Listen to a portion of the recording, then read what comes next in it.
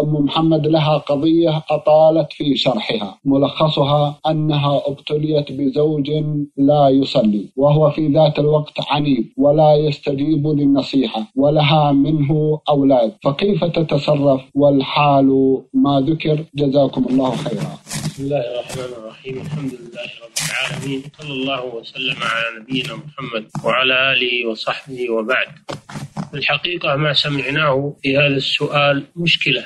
يشكو منها كثير من النساء وذلك بسبب آه بسبب تصرف أوليائهن عند التزويج فلا يتحرون الأزواج الصالحين لمولياتهم. والنبي صلى الله عليه وسلم يقول إذا جاءكم من ترضون دينه وأمانته فزوجوه. بدأ بالدين عليه الصلاة والسلام فالمرأة أمانة عند وليها. يجب أن يحسن الاختيار له وأن يتحرى الصالح لزواجها. فما وقع فيه كثير من النساء من هذا الإشكال غالبه إهمال الأولياء عند التزويج. الواجب على المرأة إذا ابتليت بمثل هذا الزوج الذي لا يصلي ولا يبالي بأمور الدين أن تناصحه وأن تأمره بالصلاة ترك المحرمات وأداء الفرائض. فإن امتثل فالحمد لله وهي زوجته. وإن لم يمتثل فإنه يجب عليها أن تطلب الفراق منه. ولا يجوز لها أن تقيم مع رجل يحارب الله ورسوله ويضيع الصلاة ويتركها متعمدا. من ترك الصلاة متعمدا خرج من الملة كفر بالله عز وجل. ولا يجوز للمسلمة أن تقيم معه. وأما من كان يصلي لكنه يترك صلاة الجماعة أو يؤخر الصلاة عن وقتها فهذا مضيع للصلاة ومتساهل في شأنها. يجب عليها أن تناصحه وأن تديم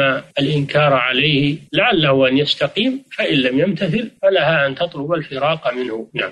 جزاكم الله خيرا وأحسن إليكم. كما ذكرت شيخ صالح ذكرت الأطفال ومشكلة الأطفال وذيلت الرسالة بقولها إن تركت أولادي إليه ضاعوا وإن ضممتهم إلي جاعوا. الأولاد في هذه القضية إذا نظرت فيها المحكمة فإنها تحكم بالأصلح للأولاد، فإذا كان بقاؤهم معه فيه مضرة عليهم في دينهم وفي عقيدتهم فإنهم ينزعون منه ولا يتركون مع أب منحرف في سلوكه وفي عقيدته بل ينزعون منه وليس له عليهم حضانة ولا ولا ولا ولاية وإنما تنقل إلى من هو أصلح منه. نعم. جزاكم الله خيرا وأحسن إليكم.